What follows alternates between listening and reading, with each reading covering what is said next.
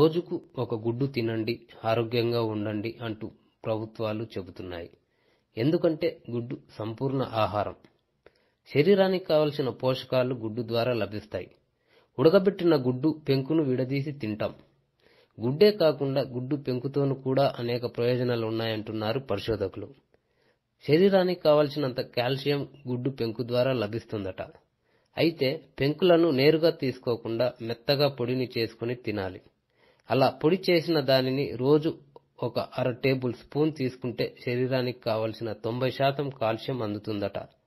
ఎముకలు దంతాలకు వెయ్యి నుంచి పదహైదు వందల మిల్లీగ్రాముల కాల్షియం అందుతుందని తాజా అధ్యయనంలో తేలిందట.